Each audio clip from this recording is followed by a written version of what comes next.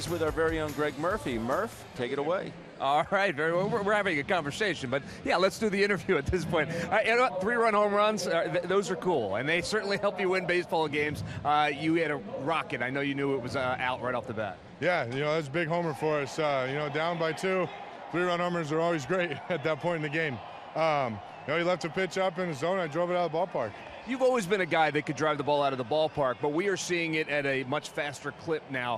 What is different in your power stroke? Is it is it a confidence thing with you?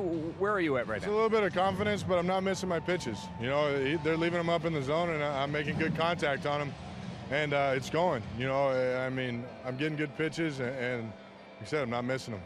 Tell me a little bit. You know, Jeanmar has a special day, obviously, or a special week. He has his first child, comes in and gets the save, and uh, you know, you, you see something like that, and you think to yourself, it's just a special kind of thing for him, huh? Yeah, absolutely. You know, he's a new father, and uh, he had a little boy. And we're happy for him. You know, we're glad he's back, and uh, and just that's a great time for him. And Jeremy, you know, maybe not having his best changeup tonight, but able to do some Yeah, things with the other pitches. Yeah, he had uh, he battled tonight. He didn't have his best stuff. Uh, made a lot of pitches when he needed to. Uh, you know, gave up a tough homer there at the at the end of his outing, but uh, you know he battled all night and kept us in the ball game. All right, you had four RBIs tonight, and maybe that's a special gift for someone special, right? Yeah, I gotta say happy birthday to my mom. She's here, and uh, that's an awesome present for her. There it is, and, and a win for the Phils. Guys, we'll set it back upstairs. All right, Murph, thanks. We appreciate that very much.